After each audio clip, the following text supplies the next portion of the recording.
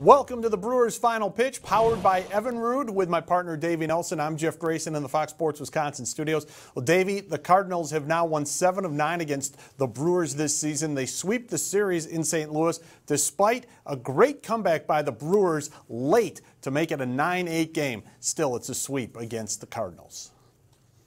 Yes, it certainly was, Jeff. And, you know, it, it all boiled down to the Brewers not being able to capitalize on some scoring opportunities. It didn't create some early, but then when they di did create some, they couldn't score until late in the ball game in that ninth inning. Brewers got four runs after trailing 9-4. They were trailing 8-2 in the sixth, but they go 3 for 15 with runners in scoring position and leave 12 men on base. Ramon Flores went 2 for 5. Aaron Hill 2 for 4. Kirk Nieuwenhuis with two hits.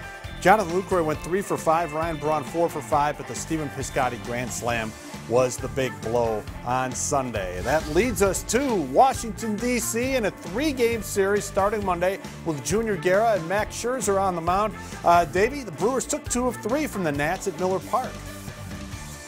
That's right, and uh, but they're going to be playing them in D.C. It's a quick turnaround. Hopefully, they can keep that offense going. They've got a good guy, Junior Guerra, on the mound who's pitched extremely well. No TV for Monday morning's game. We'll resume our coverage on Tuesday night. For Davey Nelson, I'm Jeff Grayson. Have a safe 4th of July, and thanks for watching the Brewers' final pitch, powered by Evinrude.